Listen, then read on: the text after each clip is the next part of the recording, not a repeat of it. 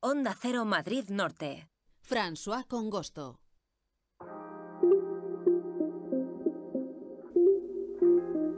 En los últimos días nos hemos hecho eco de reivindicaciones que está haciendo eh, ganaderos y agricultores en todo el país a los gobiernos de diferentes estamentos, Gobierno Central, Unión Europea, también comunidades autónomas. Hoy queremos incidir en esas reivindicaciones, pero desde el punto de vista femenino, exactamente desde aquellas mujeres que trabajan en el campo, en explotaciones ganaderas o agrícolas y que reclaman medidas o exponen problemas a las que se enfrentan en el día a día para sacar adelante eh, sus negocios. Hoy, esta mañana, hemos hablado con una representante de FADEMUR, la organización que representa, defiende y presta servicios a miles de mujeres que viven y trabajan en el medio rural en toda España. También es técnico de, eh, la, asociación, de la asociación UPA. Vamos a escuchar la entrevista que hemos hecho a Mónica Álvaro, miembro de FADEMUR. Vamos a hablar con Mónica Álvaro, que es técnico de UPA Madrid, además de miembro de FADEMUR, una entidad que agrupa a mujeres agricultoras y ganaderas. Mónica Álvaro, ¿qué tal? Muy buenos días. Hola, muy buenos días. Bueno, hay una cuestión, Mónica, que me ha llamado la atención. Es un dato que he visto en vuestro Twitter. Solamente el 29%, más o menos, de las explotaciones que hay en nuestro país están en manos de mujeres, según datos del censo agrario. ¿A qué creéis que se debe esta situación? Bueno, la, masculinización del medio rural es una, es una evidencia. En el campo eh, viven muchos más hombres que mujeres y esto es, mm, si lo puedes ver en, en lugar solamente en número de hombres y mujeres, lo ves por edades, también está los hombres son más jóvenes, las mujeres más mayores, o sea, y esto es un, es un problema que las mujeres no, tienen espacio en el medio rural, pero no, no encuentran eh, un espacio cómodo para, su desarrollo y deberíamos hacer que ese espacio, eh, crear ese espacio y que las mujeres puedan desarrollarse en el medio rural, porque donde las mujeres están, de verdad, se crea tecnología, se crea innovación y, se crean empresas que funcionan en el medio rural y en cualquier sitio. Hablando en positivo, ¿qué aporta la mujer en el campo a, bueno, pues el mantenimiento de, de esas explotaciones, eh, tanto agrícolas como ganaderas?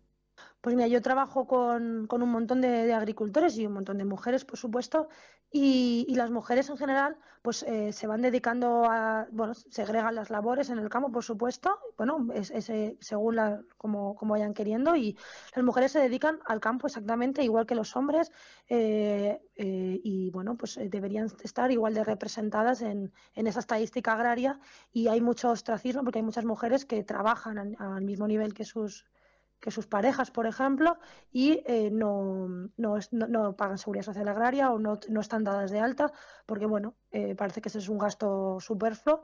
Y yo reivindico desde aquí que, que esas mujeres y esos, eh, busquen el, sistema de titularidad compartida, en el cual los dos miembros de, del matrimonio estén dados de alta a la seguridad social y las responsabilidades y las obligaciones de la explotación sean compartidas, eh, aunque bueno, lo, lo que aporte cada uno a la sociedad se conserve en la titularidad de quien, de quien fuera. Uh -huh. Y yo creo que así muchas mujeres se vería el, el, todo el trabajo que las mujeres hacen en el campo y que yo veo día a día, porque sinceramente yo estoy atendiendo eh, a agricultores todo el día, hay muchísimas mujeres que, me llaman con, problemas y al final estas mujeres no están reflejadas en las estadísticas.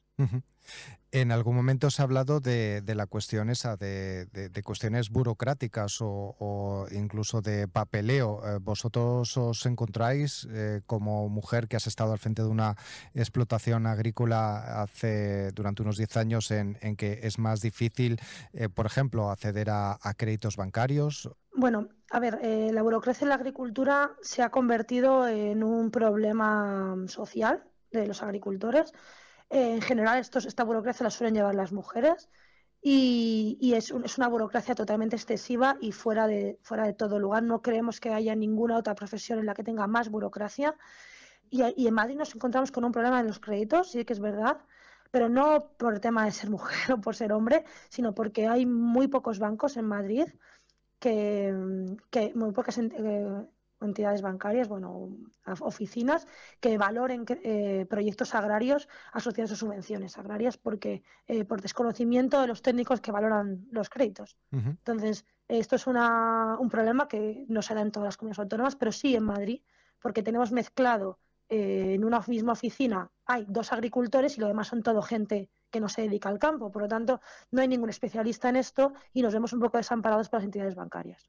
pero sería más bien un problema general, no de las mujeres, sino de todos. General, no general. general Sí, también quería preguntarte por el tema de que bueno, las mujeres también, eh, no solamente en el mundo de la agricultura ganadería, sino en cualquier área, bueno, pues suelen tener un peso específico también más en la familia con cuidados de hijos, hijas, eh, familiares, eh, cuidados en general, ¿no? también esto tiene su repercusión si te dedicas al mundo rural. Sí, por supuesto. Em, cuanto más eh, ruralizado sea, un municipio, más se, pues, se complican las labores de cuidado y más tiene que invertir la persona que se dedica al cuidado de los hijos o del cuidado de los familiares, que habitualmente es la mujer o en mayor parte es la mujer, dedica más tiempo a los cuidados y porque tiene menos, menos apoyo público. Por ejemplo, tiene el colegio está más lejos, o, o no, los médicos están más lejos, o no tiene una guardería, o eh, no tiene actividades extraescolares, comedor escolar es complicado. Entonces, el, el hecho de haber menos servicios hace que eh, la persona que se dedica a las labores de cuidado tenga que invertir mucho más tiempo y esté más desconectada del mundo profesional. Pones un ejemplo, ¿no? Porque hablábamos hace un ratito de que, por ejemplo, te puedes encontrar con que tú en agosto tienes que recoger tomates y a lo mejor resulta que no hay colegio, ¿no? Con lo cual ahí hay una situación que, que genera un problema en otras comunidades autónomas que son más rurales, con, con, más, bueno, que son más agrarias, sé que generan estructuras para ayudar a, como la mayoría de las personas, o mucha buena parte de las personas, tienen este tipo de problemas, pues se generan pues, pues con medio de colegios o, privados, o sea, que hace ese servicio. Como en Madrid no hay ese tipo de, no hay mucha agricultura, hay, hay agricultura, pero está muy mezclada con otro tipo de servicios, otro tipo de, de empresas, y somos pocos, estamos muy separados, no tenemos servicios adaptados a nuestras necesidades. Por lo tanto, se, se complican todavía más las labores de cuidado.